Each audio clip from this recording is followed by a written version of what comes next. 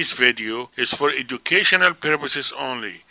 Please consult your doctor before you make any decision about your medical care.